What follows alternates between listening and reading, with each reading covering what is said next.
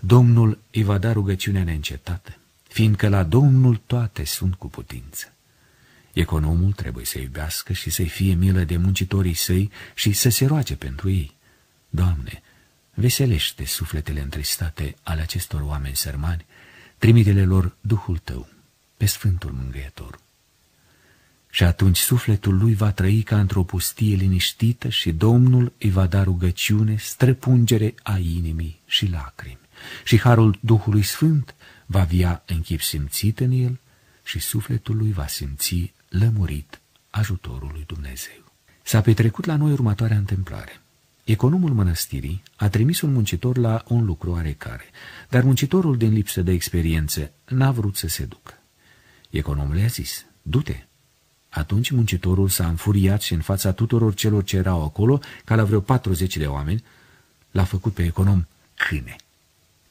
Dar economului i s-a făcut milă de muncitor i-a dat ceai și zahăr și i-a spus, cheamă-mă întotdeauna câine. Și dintr-o dată muncitorul a fost cuprins de o asemenea rușine că fața lui s-a înroșit cu totul și mai apoi a fost cel mai ascultător dintre toți. E atât de bine să trăiești cu iubire. Atunci Domnul te ajută cu harul său și îți dă o rugăciune fierbinte pentru oameni. Dar dacă economul se va înfuria, atunci își va vătăma sufletul său și va tulbura și pe alții prin mânia lui. Experiența multor ani mi-a arătat că economul trebuie să iubească pe oameni așa cum o mamă își iubește copiii, iar dacă cineva nu este ascultător, el trebuie să se roage din inima lui Dumnezeu. Doamne, luminează pe robul tău, căci îl iubești pe el. Și atunci, rugăciunea ta va fi de folos pentru el și tu însuți vei cunoaște cât de bine e să te rogi pentru muncitori. Toți vor iubi un econom bun, pentru că tuturor le place când sunt luați cu blândețe. Experiența mi-a arătat că nu trebuie să gândești rău despre niciun om, căci pentru aceasta Harul Duhului Sfânt pleacă din suflet. Dar dacă îi iubim pe oameni, Domnul ne va da rugăciunea așa, încât, chiar și în mijlocul oamenilor, sufletul va putea striga neîncetat către Dumnezeu. Despre ascultare Rari sunt cei ce cunosc taina ascultării. Cel ce ascultă este mare înaintea lui Dumnezeu. El îl imite pe Hristos, care ne-a dat El însuși pilda ascultării. Domnul iubește sufletul ascultător și dă pacea lui și atunci totul este bine și sufletul simte iubire pentru toți. Cel ce ascultă și-a pus toată nădejdea în Dumnezeu și de aceea sufletul său este totdeauna în Dumnezeu și Domnul îi dă harul său și acest har învață sufletul tot binele și îi dă puterea de a rămâne în bine. El vede răul, dar acest rău n-are nicio putere asupra sufletului, pentru că e cu el harul Sfântului Duh, care îl păzește de orice păcat și el se roagă lui Dumnezeu în pace și ușor. Duhul Sfânt iubește sufletul celui ce ascultă și de aceea el cunoaște de grabă pe Domnul și primește darul rugăciunii inimii. Cel ce ascultă s-a predat pe sine voii lui Dumnezeu și pentru aceasta îi sunt dăruite libertatea și odihna în Dumnezeu și se roagă cu mintea curată. Dar cei mândri și neascultători nu se pot ruga curat, chiar dacă se nevoiesc mult. Ei nu știu cum lucrează harul, nici dacă Domnul le-a iertat păcatele. Cel ce ascultă s-a predat pe sine voii lui Dumnezeu și pentru aceasta îi sunt dăruite libertatea și odihna în Dumnezeu și se roagă cu mintea curată. Dar cei mândri și neascultători nu se pot ruga curat, chiar dacă se nevoiesc mult. Ei nu știu cum lucrează harul, nici dacă Domnul le-a iertat păcatele. Dar cel ce ascultă știe limpede că Domnul i-a iertat păcatele, pentru că simte în sufletul său pe Duhul Sfânt. Ascultarea este de trebuință nu numai monahului, ci și fiecărui om. Chiar și Domnul a fost ascultător. Cei mândri și cei care trăiesc după rânduială de sine nu lasă harul să vieze în ei și de aceea n-au niciodată pace sufletească. Dar harul Duhului Sfânt intră ușor în sufletul celui ascultător și îi dă bucurie și odihnă.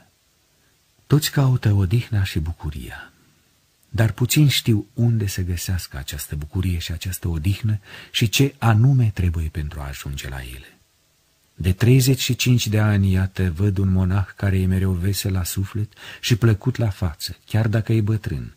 Și aceasta pentru că el iubește ascultarea și sufletul său s-a predat voii lui Dumnezeu și nu se îngrijește de nimic, ci sufletul său iubește pe Domnul și îl vede pe el. Cine poartă în sine fie și numai puțin har, acela se supune cu bucurie oricărei stăpâniri. El știe că Domnul guvernează și cerul și pământul și cele de dedesubt și pe el însuși și treburile lui și tot ce este în lume și de aceea are întotdeauna odihnă. Cine ascultă s-a predat pe sine voii lui Dumnezeu și nu se teme de moarte, pentru că sufletul lui s-a obișnuit să viețuiască cu Domnul și îl iubește pe el.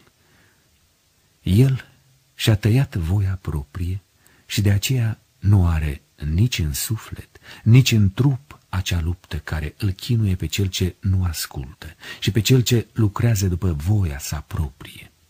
Adevăratul ascultător urăște voia sa proprie și îl iubește pe părintele lui duhovnicesc și pentru aceasta primește libertatea de a se ruga lui Dumnezeu cu minte curată și sufletul său vede liber, fără gânduri, pe Dumnezeu și se odihnește într el. El vine de grabă la iubirea lui Dumnezeu datorită smereniei lui și pentru rugăciunile părintelui său duhovnicesc. Viața noastră e simplă, dar înțeleaptă. Maica Domnului a spus cuviosului Serafim din Sarov, Dă-le lor, monahiilor, o ascultare. Și cine va păzi ascultarea și înțelepciunea, va fi cu tine și aproape de mine. Vedeți cât de simplă e mântuirea. Dar înțelepciunea trebuie învățată printr-o îndelungată experiență. Ea este dată de la Dumnezeu pentru ascultare. Domnul iubește sufletul ascultător și dacă îl iubește, îi dă ceea ce sufletul a cerut de la Dumnezeu. Ca și odinioară, tot așa și acum, Domnul ascultă rugăciunile noastre și ne împlinește cererile. De ce Sfinții Părinți au pus ascultarea mai presus de post și rugăciune? Pentru că din nevoințe ascetice făcute fără ascultare, se naște slava deșartă. Dar cel ce ascultă face totul așa cum îi se spune și nu are de ce să se trufească. Pe lângă aceasta, cel ce ascultă și-a tăiat întru toate voia sa proprie și îl ascultă pe părintele său duhovnicesc și de aceea mintea lui e liberă de orice griji și primește darul rugăciunii curate. În mintea celui ce ascultă e numai Dumnezeu și cuvântul bătrânului său. Dar mintea celui neascultător e preocupată de tot felul de lucruri și de judecarea bătrânului și de aceea nu poate vedea pe Dumnezeu. Am văzut un frate care făcea o ascultare grea. El avea rugăciunea inimii și Domnul îi dădea lacrimi să plângă pentru întreaga lume. Și egumenul Andrei a spus, aceasta ți s-a dat pentru ascultarea ta. Prin ascultare omul se păzește de mândrie. Pentru ascultare se dă rugăciunea. Pentru ascultare se dă și harul Duhului Sfânt. Iată de ce ascultarea e mai presus decât postul și rugăciunea. Dacă îngerii căzuți ar fi păzit ascultarea, ar fi rămas în ceruri și ar fi cântat într-o slava Domnului. Și dacă Adam ar fi păzit ascultarea, atunci el și neamul lui ar fi rămas în rai. Dar chiar și acum e cu putință să aflăm iarăși raiul prin pocăință. Domnul ne iubește mult în ciuda păcatelor noastre, numai să ne smerim și să iubim pe vrăjmași. Dar cine nu iubește pe vrăjmași, acela nu poate avea pace, chiar dacă ar fi așezat în rai.